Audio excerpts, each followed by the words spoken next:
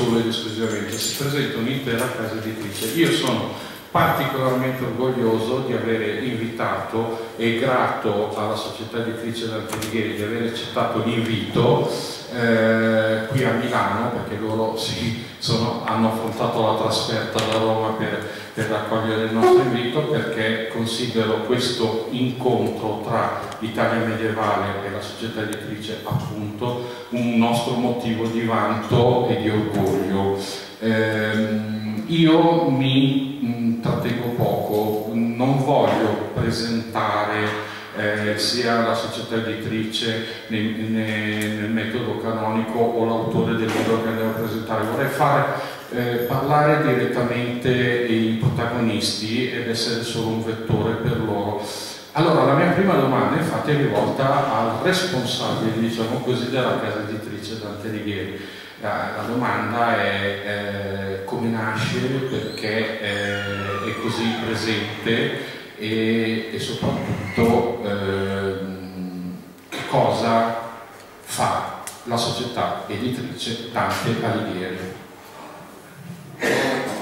Diciamo che io parlo per interposta persona, buonasera, perché più che altro di, eh, dirigo la collana dantesca di questa società editrice che nasce comunque nel 1895 eh, quando Giovanni Albrighi, ecco, ho preso degli appunti perché è una storia abbastanza lunga, no? eh, fondano l'Albrighi Segati e Company, una società che comandi da semplice. Poi la casa editrice ebraica guadagna notorietà rispetto grazie soprattutto alla capacità di lavoro dei suoi fondatori, intuito d'edizione, ma soprattutto amore per la cultura, devono essere alla base di una casa editrice. Nel 1902 la società Segati acquista la società editrice Dante Alighieri di Roma, continuando nella gestione sotto questa ragione sociale, quindi in questo modo poi la società acquisisce la ragione sociale. Diciamo, no? Nel gennaio 1928 la, la, avviene la fusione con la società anonima editrice Francesco Perrella di Napoli e poi c'è il conseguente cambio di denominazione sociale, società editrice Dante Alighieri. Insieme alla redazione eh, così esaminato un po' di proposte che ci sono venute, quindi abbiamo messo insieme un po' di, di energie e quindi ci siamo occupati suggerendo delle tematiche di alcuni aspetti che magari a scuola non c'è modo di approfondire molto bene, che ne so, dall'idea etica della letteratura che per esempio è stata sviluppata dal professor Gandolfo Cascio che insegna all'Università di Utrecht in Olanda, ai suoni e voci della commedia, no? cioè come si recita la Divina Commedia a livello fonetico addirittura. Un'opera interessante che è stata eh, scritta dal professor Paolo Sessa eh, che risiede in Sicilia, quindi vedete andiamo dall'Olanda alla Sicilia, e così ecco, vorrei citare anche gli altri, ecco, c'è chi si è occupato me dell'esoterismo in Dante o del poetico adulterio di Dante con Beatrice, chi si è occupato di esaminare per esempio eh, gli animali no? eh, che compaiono nel, nel poema. c'è chi come Domenico Valente dei brani che si è occupato di, di una revisione narrativa addirittura della prima cantica della commedia. Insomma, abbiamo messo eh, su questa collana in modo tale da offrire ai lettori particolari spunti di interesse, al di là di quello che è la lettura canonica che si può fare nelle scuole. Ultima felice anomalia è quella di Filippo Silvestri, che è un ingegnere, l'unico scienziato, tra noi, perché siamo sul versante dell'umanesimo, ma lui richiede giustamente che umanesimo e, e pensiero scientifico possano facilmente eh, convivere e quindi ha esaminato soprattutto con molta dovizia dei particolari anche dei riferimenti, adesso lascerò a lui brevemente, anzi io sarò molto più breve di lui che illustrerà meglio questo libro, eh, la straordinaria e puntuale competenza di Dante anche in ambito scientifico-tecnologico. Quindi Dante non è soltanto il letterato, il poeta, eh, l'innamorato di Beatrice, ma anche un grande astronomo, anche un grande esperto, per esempio, di, di idraulica, così come poi nella Divina Commedia ci sono eh, straordinarie descrizioni del funzionamento del, del, per esempio della bussola, degli orologi, no? Eh, così come dimostra anche attraverso similitudini veramente interessanti, no? eh, stupefacenti potrei aggiungere, per quanto riguarda eh, i funzionamenti delle macchine. Quindi Dante è anche un esperto di scienza, di tecnologia, ed è questo in particolare ciò di cui si è occupato Filippo Silvestri nel, nel libro intitolato La tecnologia nella commedia di Dante. Siccome è un aspetto che noi abbiamo ritenuto davvero molto particolare, negli studi di dantistica eh, eh tra i critici di Dante, gli studiosi di Dante, in effetti questo una, era una, eh, un argomento mai trattato o trattato in maniera molto superficiale, molto eh, secondaria tutto sommato. Allora invece questo testo eh, è tarato e incentrato proprio su questo tipo di argomento, Vabbè, la tecnologia nella comunità. Dante era così curioso, osservava tutto, questo sapere enciclopedico, eh, anche per me che ovviamente amando Dante, amando il Medioevo in sé, non aveva notato questa ehm, passione anche per, e questa curiosità per la tecnologia. Io il suo libro l'ho letto, devo dire che merita, merita di essere acquistato, merita di essere anche considerato anche eventualmente testo scolastico, però lascio a lei la parola per spiegarlo, perché è lei l'autore e sicuramente però all'inizio mi deve dire come nasce la sua passione eh, per la tecnologia di Dante. Beh, eh. La, la, passione per Dante nasce, credo, come per molti, dai tempi della scuola, perché lì eh, si riesce a studiare. E poi eh, proseguita, ma mm, la voglia di approfondire questi aspetti tecnologici è venuta quando, ascoltando altre conferenze, leggendo anche altri commenti, e ho visto che commenti fatti da filologi, fatti da eh, filosofi, da uomini di lettere, scusa, e allora questo, questo aspetto non era molto approfondito, era, rimaneva un po' nel vago. E secondo me è, è, è ingiusto verso Dante. La commedia, come ha tradotto eh, Mauro, è fra l'altro, scrive Eric Auerbach, un poema enciclopedico didascalico in cui è presentato nel suo insieme tutto l'ordine universale, fisico-cosmologico, etico e storico-politico Essa è inoltre un'opera d'arte che riproduce la realtà, in cui si affacciano tutte le possibili regioni del reale. Quindi non ci meraviglia se nella commedia troviamo numerosi i riferimenti alla tecnologia eh.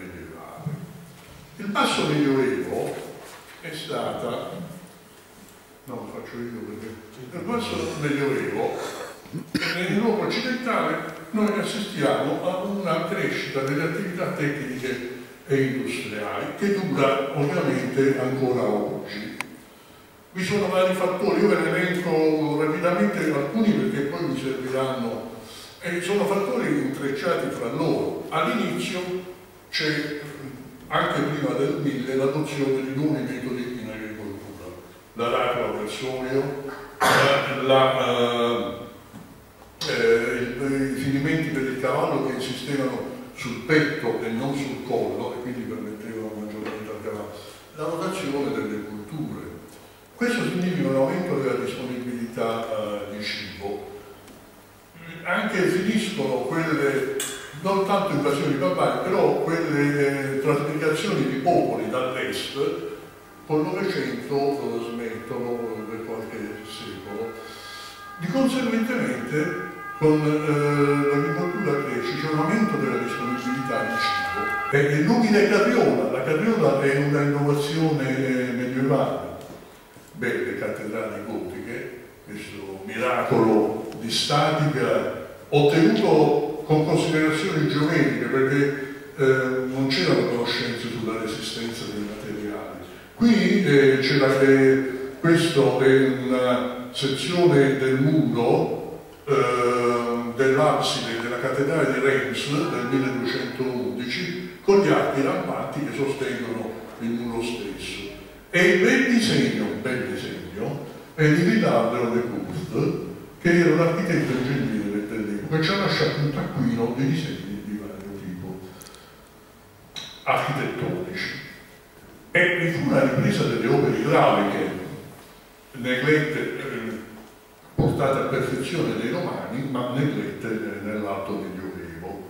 Ad esempio, una delle maggiori, se non la maggiore, e credo che voi lo riconosciate, il Naviglio Grande di Milano, iniziato a scavare come eh, canale di irrigazione e poi ampliato con varie, diciamo, eh, iniziato nel 1979, poi ci sono varie date di completamento dei vari rami. La bussola va da sé. E poi la maggiore innovazione padre che è l'orologio meccanico col suo meccanismo di regolazione, lo scappamento. Troviamo i luoghi nella commedia, ne troviamo tanti di loro. Il mulino d'inferno XXIII è un mulino ad acqua con ruota orizzontale del tipo più diffuso in Toscana nel XIII secolo dalla Granada degli iniziali, le argini sulla, sul Brenta dei Padovani sono citazioni dirette. A Milano, al tempo della sua ambasceria presso Enrico VII, può aver visitato il campanile di Sant'Eustogio, l'orologio meccanico ivi posizionato tra il 1305 e il 1309. Tra le opere architettoniche sono descritte le fortezze di Monteriggioni,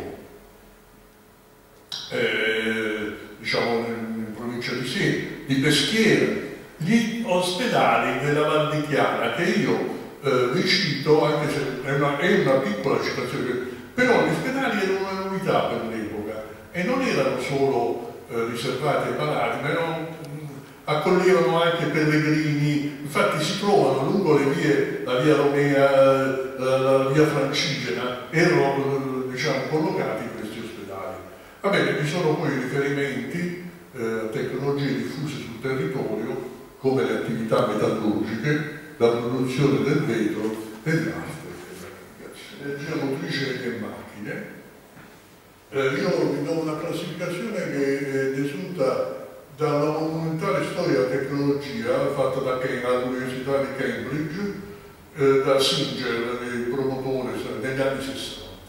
Nel campo dell'energia motrice e macchine mulini ad acqua, vento, l'orologio meccanico e io ci ho messo anche la bussola, insomma anche per uno strumento più capo lavorazione dei materiali, lavorazione dei metalli, dei vetri, gli specchi di vetro, opere idrauliche, le dighe degli olandesi e gli argini sui fiumi, le fortificazioni, borghi fortificati come Monteriggioni, Peschiera, era una, un costume eh, diciamo eh, entrato nel, un costume adottato nel Medioevo perché l'Italia era eh, suddivisa in piccoli eh, principati che sui confini costruivano questi borghi fortificati dove eh, vivevano eh, contadini, però anche erano luoghi di difesa e poi parla dei fossati, delle mura di cinta, dei camminamenti, costruzioni navali, da strade veneziane, L'arte della navigazione, eh, Dante cita il timone centrale, le carte nautiche, le manovre di navi. Nelle armi individuali abbiamo l'arco e la balestra. Per ultimo, cito qui la filatura e tessitura, che era la prima industria dell'epoca. Però, siccome Dante ne parla poco eh, e comunque non parla dei ritrovati tecnici, telaio orizzontale, io non ci la cito per tutti. Rispetto all'innovazione del basso medioevo, Dante non cita la costruzione di cattedrali, gli occhiali, la carta, le grandi macchine guerresche d'Agitto, il trabucco, trabucco, no? Macchina che per il lancio di pietre eh, a contrappeso e non a molla come quello che usavano i romani, e per limiti temporali, diciamo le armi da fuoco, il primo cannone in Europa fu posto in opera nel 1218. Dalla nube dei Beati scende una voce, che è la voce di Bonaventura da Bagnoregio, francescano, che illustrerà la vita di San Domenico, che fa somigliare Dante il lago della bussola quando si ferma alla stella che indica la direzione di settentrione. Nel coro in luna delle luci nuove si mosse voce che l'ago alla stella per mi fece rivolgermi al suo nome. L'ago alla stella è espressione, eh, diciamo, sintattica usata da eh, Guido Vinizelli in una canzone Madonna il fino amore che Dio le porto che era notissima a Dante. Andiamo rapidamente. Allora, la stella non è la polare.